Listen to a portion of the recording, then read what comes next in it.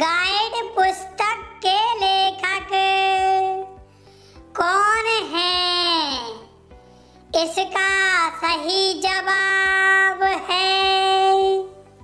guide एक उपन्यास है, जिसके लेखक अंग्रेज़ी भाषा के महान भारतीय उपन्यास